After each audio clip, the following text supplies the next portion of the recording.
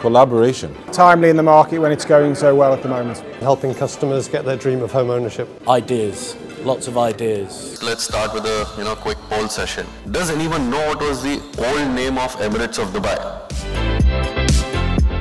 We are in the right sector to create the best mortgage experience in the world. What we want to achieve is a vision that we all can be part of.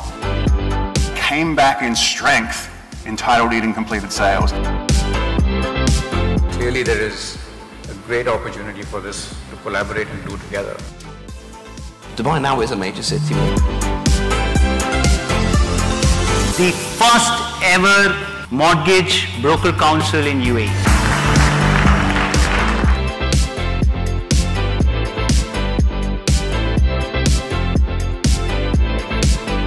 I feel like it's a good change. I think this is the first um, platform we're able to come together and then uh, have a voice to talk to the banks. I'm super excited to be part of, of positive change. Honestly, it's exciting where the industry as a collective can have a voice and affect change.